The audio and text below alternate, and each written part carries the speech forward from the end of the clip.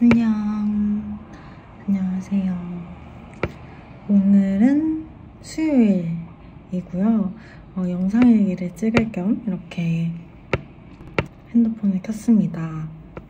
제가 좀 전에 지우랑 퀸덤 퍼즐 챌린지를 했는데 어, 아마 제 첫 틱톡 단체로 찍은 거 말고는 제 첫 틱톡 영상이 될 것 같고 음, 좀 재밌었어요. 안무도 너무 재밌고 어, 지우가 나오는 게 너무너무 기대가 되는데 그 지우 나오는 그 뮤직비디오 같은 영상만 계속 돌려봤거든요.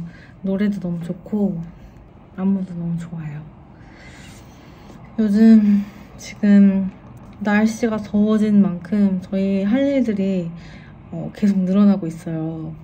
음, 시간이 진짜 이렇게 흐르는 게 좀 실감이 안 날 정도로 제가 오늘 5월 26일이라고 그랬나? 하여튼 점점 날짜 감각이 사라지는 것 같은데 되게 놀랐어요. 분명 5월 된 게 어제였던 것 같은데 벌써 시간이? 약간 이런 느낌이었거든요.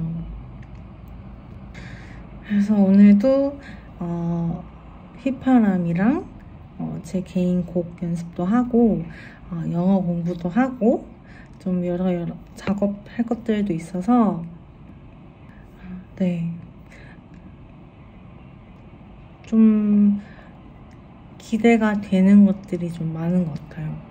저는 이런 바쁜 것들, 바쁜 일상이 너무너무 좋고, 그럴수록 여러분들한테 더 좋은 모습과 멋있는 걸 많이 보여드릴 수 있다고 생각해서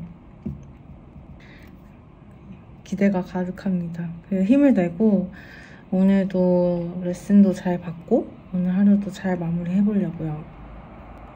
일주일들이 너무 빨리빨리 지나가네요. 아쉽지만 그래도 오늘을 열심히 살아가야 하기 때문에